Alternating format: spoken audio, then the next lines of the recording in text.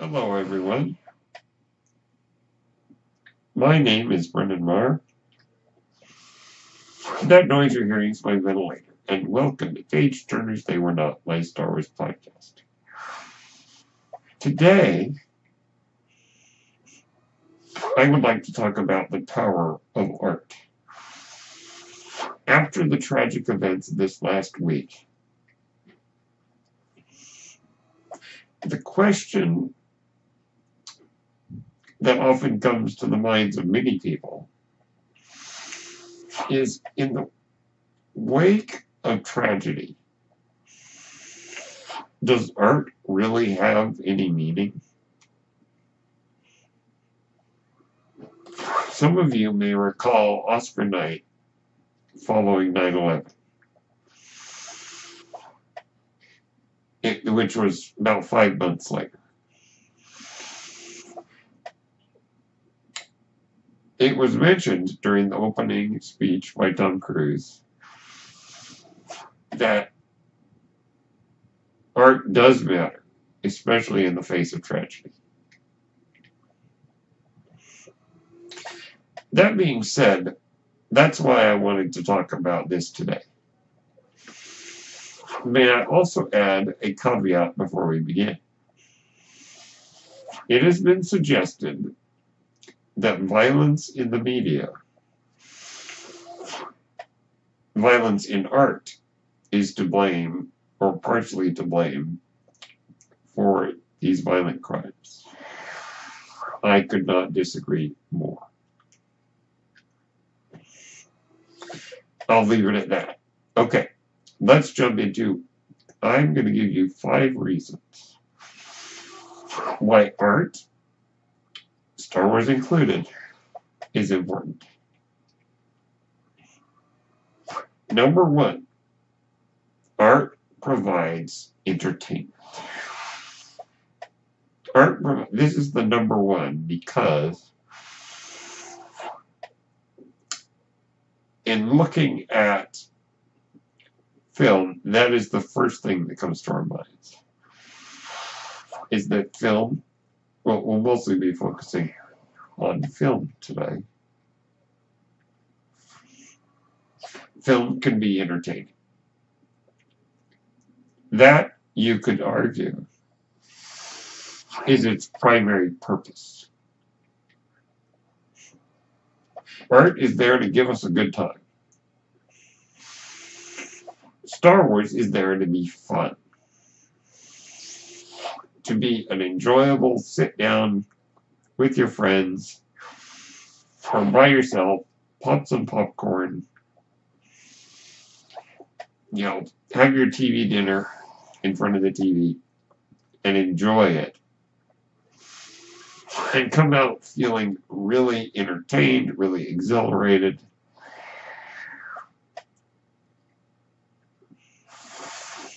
And enjoying those moments again and again.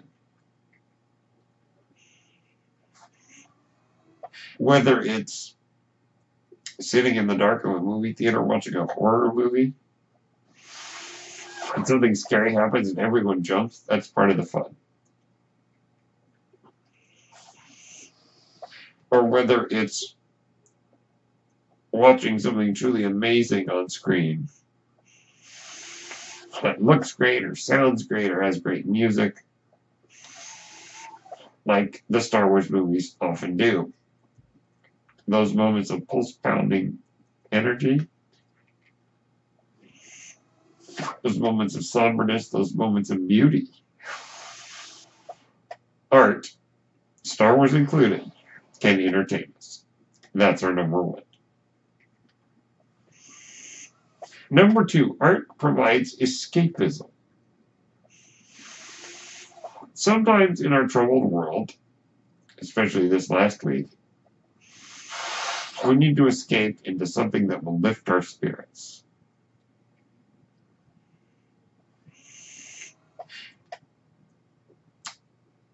And truly take us into a more positive mindset when things are down.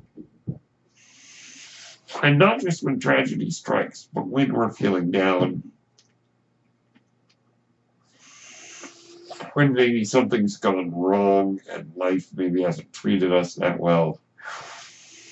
You know, you come home from work, you come home from school, and you're just feeling exhausted and beaten down, and you need something to help you escape. Art can do that. Star Wars transports us into an incredible world of aliens and villains and heroes. Characters we can boo at, characters we can cheer. And transport us into a world where a little green frog can lift a spaceship out of a swamp. Or a world where a whiny farm boy can save the galaxy. It transports us to this world of escapist joy. That's so real, we wish we could live in it. I can't wait to go to Galaxy's Edge at Disneyland and finally get to physically be in Star Wars. So our number two, art provides escapism. Number three, art can inform us. Film and Star Wars can inform us. Now, I do not believe that film is an educational tool, particularly when it comes to historical movies. And what I mean is, film is not meant to be accurate. Whether it's to history, whether it's to science, whether it's to any rules that really work in the modern, in real life, I should say.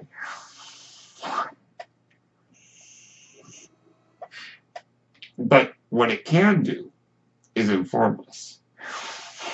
For instance, I do not believe that we should use film like, say, Braveheart to teach history, because going by that standard, if Braveheart were to teach us history, as we know, it's way off the mark. But what it can do is it can inform us about the Scottish War against the English. Schindler's List can tell us a true story, though as close as it is to the mark, it's still it's fictional. Uh, ultimately, because it does fiddle with the truth. But it does inform us about the nature of the Holocaust. It informs us about this guy named Oscar Schindler who saved a bunch of people. It informs us about many of the characters and events and people and places and situations that were real. And also inform us about a historical event that needs to be remembered. Steven Spielberg was very adamant about that when he won his Academy Award. That this was something that needed to be talked about and taught taught in schools. The Holocaust needs to be taught. Film can also inform us about other points of view. Film can inform us about things that we need to change in our lives. Or things that we need to understand are going on so that we can get a better view of the world.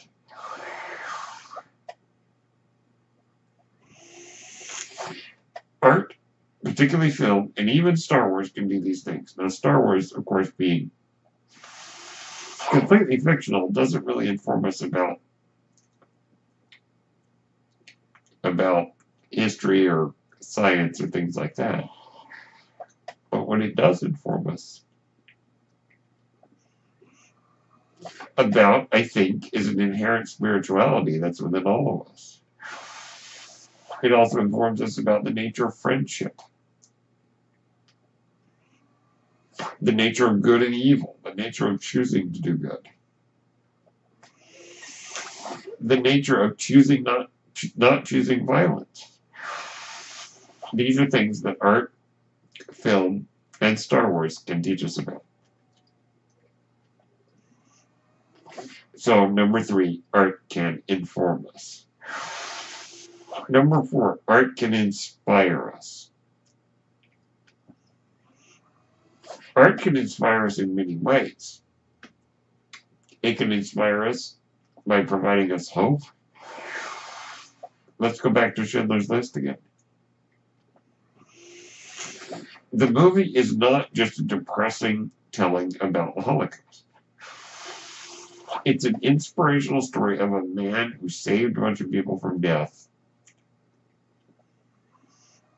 and demonstrates the value of choosing to do good and inspiring us by giving us a hopeful ending that tells us that we can choose to do good things and gives us that hope that even in the darkest times there is always light. The other way that art and film can inspire us is by providing movie movie magic. Remember the scene of the bicycles flying in E.T.? Or the scene of, I don't know, even down to the, that last goal by Charlie and the Mighty Ducks. These are moments that are inspiring. Uh, film is so full of them. Star Wars is so full of inspirational moments.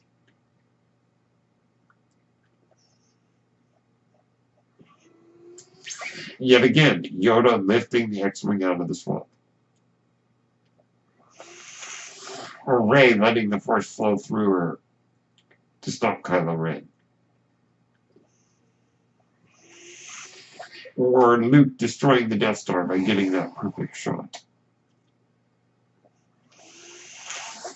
But also, at the end of the day, Star Wars and film is about hope.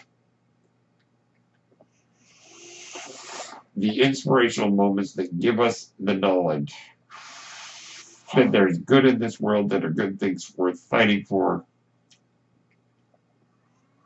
and that in the end, good will triumph. So number four, art can inspire us. And number five, number five, I believe to be the most important and that is when art is at its best. Or not necessarily its best, but the greatest thing art can do is provide us with catharsis. Catharsis means the following. Catharsis is purification of the emotions through art. We can see a film and have a moment of emotional and spiritual healing that can come because of the power of art. Whether it's coming away feeling hopeful, as I mentioned before, like I said, these shootings were terrible, but maybe through art, we can find the solace in whatever way that comes. Whether it's just the positivity or optimism or hope, or whether it's a mo movie moment that we can truly understand. Maybe a Holocaust victim watching Schindler's List might have that emotional moment where there is that sense of the purification of the emotions by what they're seeing. It doesn't take away the horror of the experience, but maybe it can help them heal. Or maybe the moment when King Theoden in The Lord of the Rings, The Two Towers is mourning his dead son and says no parent should ever have to bury their child. That moment, these are moments we can identify with. And maybe if everything clicks, we can truly become purified from those emotions that come with these things that have happened to us. Whether it's the end of Inception, when Robert Fischer has a moment where he finally connects with his dad on his deathbed. When they had a strange relationship, but in that moment they heal. When the older Morris, Morris? No. Uh, the older Fischer, I'm drawing a blank on, the, on Dad Fischer, but we'll call him Dad Fischer. When he admits to his son that he's proud that his son isn't like him. And that beautiful moment when the young Robert Fischer pulls the pinwheel out of the safe, reminding him of the happy moment he had with his dad. There are many people who have similar experiences where they had a strained relationship with the parent but toward the end of the parent's life, that reconciliation happened. Or even when the parent was still alive, those moments when those broken family bonds are repaired. Maybe seeing it on film can provide the emotional release that the person has been looking for. And I think when that happens, that is art at its most beautiful. So those are my five things that art, particularly film, and particularly Star Wars, because this is a Star Wars podcast, can do for us. Number one, entertain. Number two, escapism. Uh, number three, inform. Number four, inspire. And number five, provide catharsis. Let me know what you think of the power of art. My name is Brendan Marr. Thank you so much for tuning in to Page Turners They Were Not, my Star Wars podcast. May the Force be with you.